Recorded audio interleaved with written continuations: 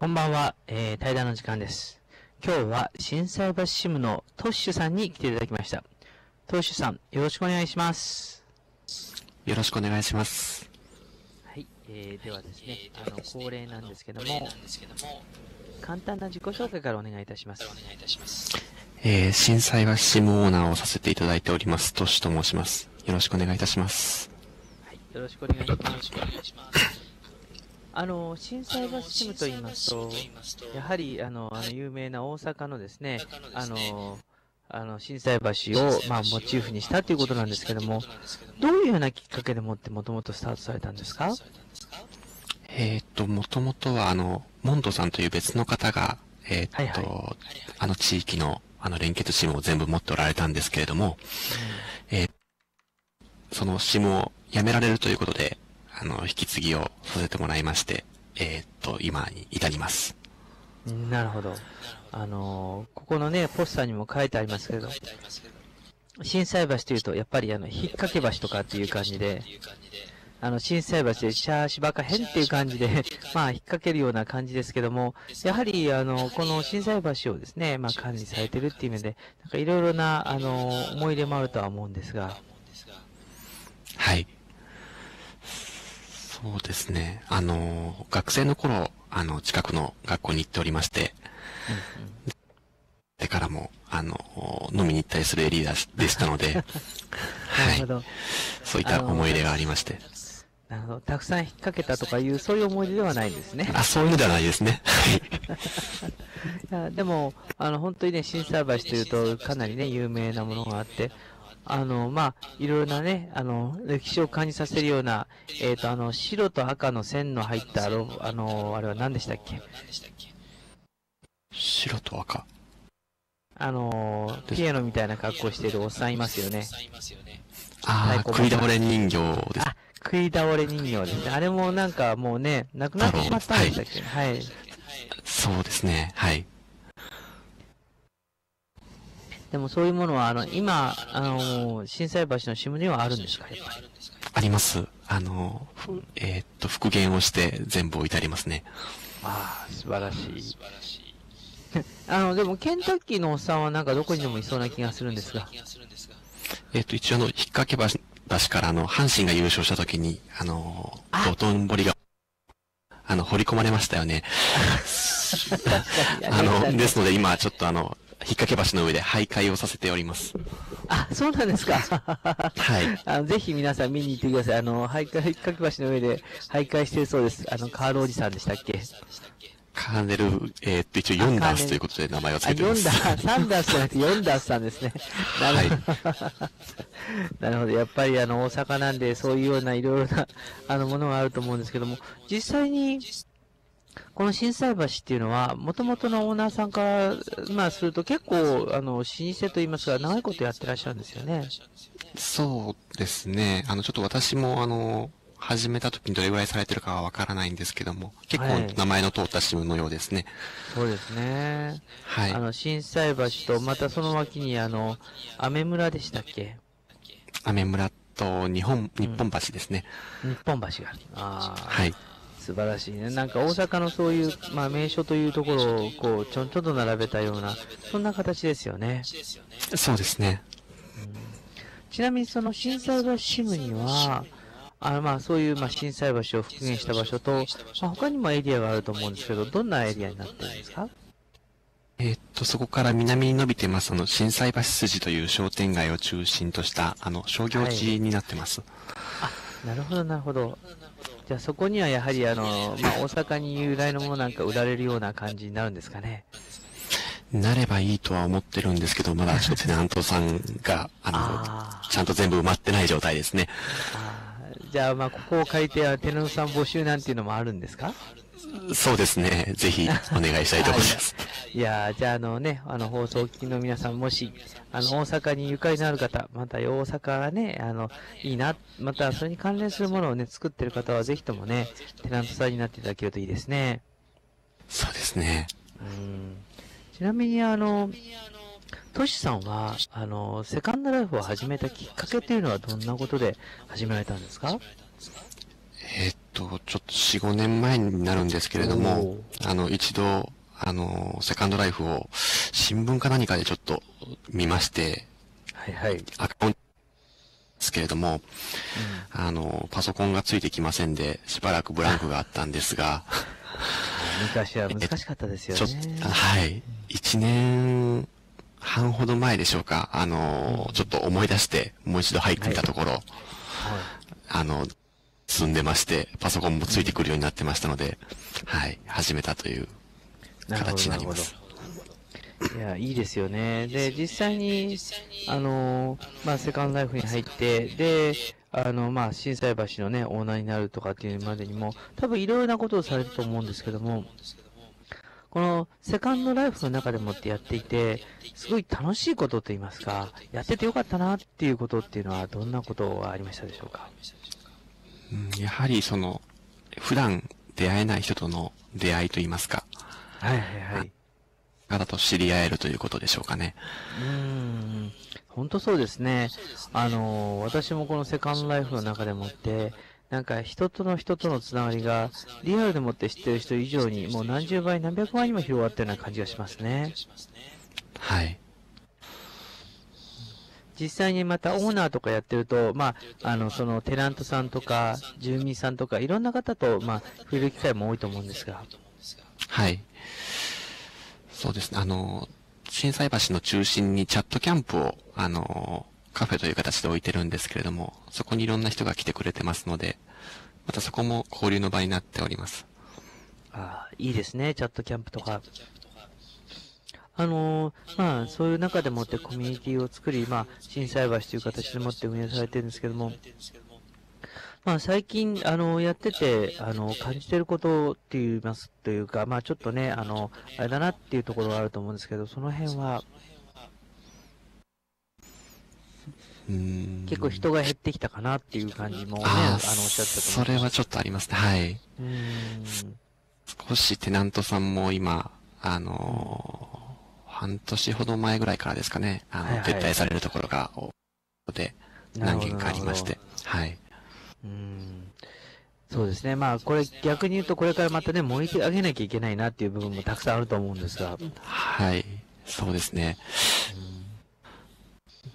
ですので、ちょっと初心者、はい。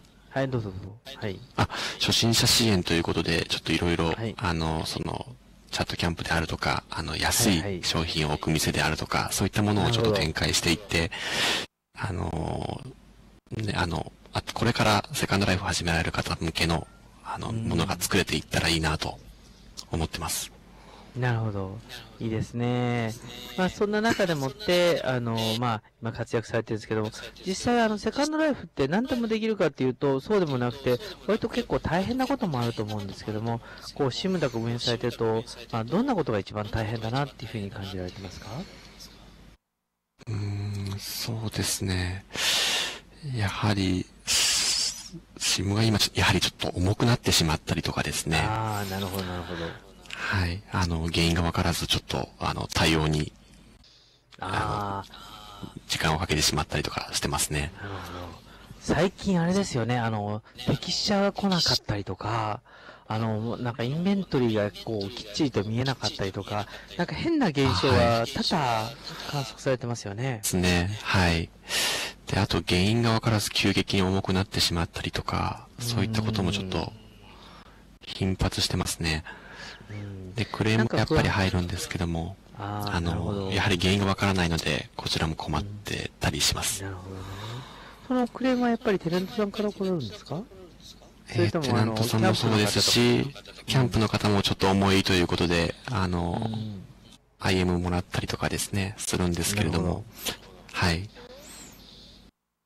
なんででしょうね。あの、結構あのね、あの、セカンドライフ全体的に重たくなったとか、あと、あの、まあ、ブラビューアーの2を使うと重たいとか、まあ、いろいろなことを言われてますけども、なかなかこう、決定的なところがよくわからないような感じで感じますね、確かに。そうですね。まあいろいろあの、監視をしたりとかして、調査はするんですけれども、はい。うん結局分からずじまいっていうことが多いですね。なるほど。これが一番嫌ですね。はい。うんちなみに、あの、トシュさんは、あの、いつもはどんなことをされて過ごしてるんですか？うん主にあの、IM の対応であるとか、あと、見回りですね。はい。ああ、あの、遊びに行ったりとか、デートしたりとか、そういうことはないんですか？は、ほとんどないですね、最近は。はい。やはりまあ、他の市もちょっと、なんて言うんですか。うん。覗きに行ったりとかっていうのは、あの、ちょっと下見と言いますか、は、ああ、なるほど、なるほど。ってますけれども。なかなかそういう感じで、そっか、やはり新聞の運営となるといろいろなことがありますからね。はい。うん、ほったらかしにもできないし、テナントさんもいるしということで、おはい疲れ。様です。でも、あの、実際に、あの、なんでしょう、震災橋、やっぱりこう、思い入れがあるということでもって、まあ、大事にしていきたいと思うんですけども、今後の、まあ、展開といいますか、今後どういうふうにはいこの震災橋支部、持っていきたいかなっていうふうに考えてらっしゃるんですか？できれば、あの、やはりその連結シムの中心に位置してますので、はいはい。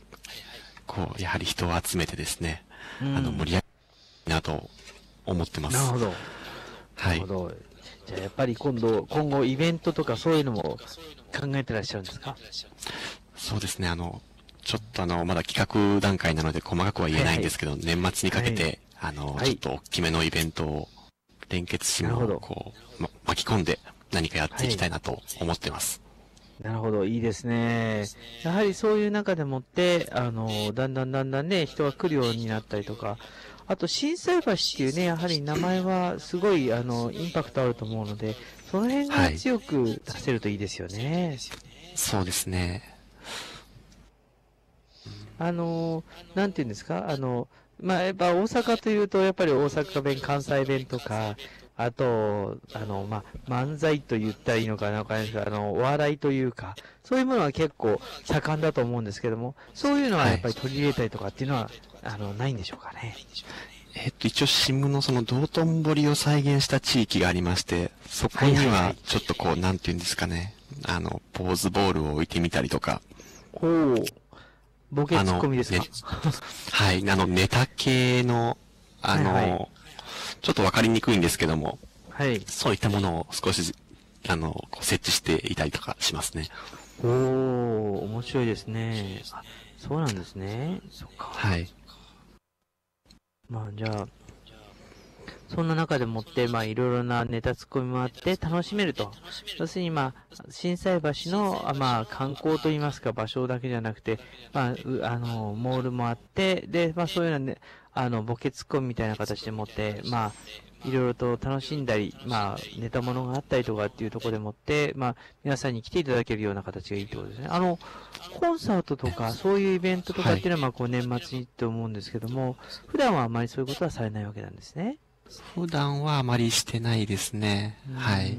あの、夏、今年の夏は、あの、1ヶ月間使って、あの、おお。夏祭りということで、小さな屋台をいっぱい出して、イベントをやってたんですけれども、なるほど、なるほど。どうでした？人は来ましたか？えっ、と、結構キャンプを設置してたので、その、そこに人が、はい。集まってやはりキャンプもらえたのは結構人が集まるんで、集まりますね。そうですね。うんで、あと、まあ、お店の方も、あのー売れた店と売れてなかった店とあるみたいなんですけども、ああ、なるほど、なるほど。まあ、それはしょうがないですよね。うんはい。まあでもそういう風な形で運営をされてきて、まあこれからも年末にかけて、まあ面白いことをね、あの、企画しようという風な感じですけども、やっぱこれからが、まあ楽しみですよね。そうですね。あの、盛り上げていけたらなと思っております。うんやはりあの、あと、やはりね、住んでる方々といいますか、テナントの方々とか、住民の方々、コミュニティ全体でね、あの、盛り上げるような方向ができると、本当はいいなっていう感じなんでしょうね。あ、そうですね。はい。うんテナントさん同士のつながりというものも作っていけたらいいなと思ってます。そうですね。そうすると、やはりね、あの、お互いに盛り上がったり、まあ、はめ、はまし合ったり、まあ、時にはね、あの、対抗したりとかっていうのがあると、なんか盛り上がりそうな気がするんですけどね。はい。なるほど。まあ、あの、まあ、震災橋また、その、隣、お隣も、えっと、えっと、日本、日本橋と、あと、雨村っていうのがありますけども、まあ、やはりそこはもう全然違う方々が、やっぱりまた、それぞれ運用されてるわけですね。はい、そうですね。あの、別のオーナーが、あの、また運営をしてます。なるほど。中でもって連動企画なんていうのも今回あるわけですか。ちょっと企画をしたいなと思っております。うんはい。やっぱり3つも SIM が揃うとかなり壮観な感じになると思いますんで、楽しみですね。はい。で、実はあの、まだその、アメ村の向こうにも、ちょっとあの、大阪には関係ない地名なんですけども、クラウドシーとかクラウドランドという、今、5つ繋がってます。おお、そんなに大きいんですかすごいですね。じゃあその辺も含めて、なんかいろいろと、あのー、動きがあると面白そうですね。はい、そうですね。うん、じゃあその辺も含めて、あのいろいろとこれからも頑張っていただければと思います。あのまあ、なんというかもうね、あっという間にあの時間になってしまいましたけども、はい。もし最後に、あの、視聴者の皆さんに、えっ、ー、と、一言何かいただければと思いますんで、よろしくお願いします。えっと、これからちょっと盛り上げていきたいと思っておりますので、あの、皆さん、震災橋市もどうぞよろしくお願いいたします。はい。今日はお忙しい中、本当にどうもありがとうございました。ありがとうございました。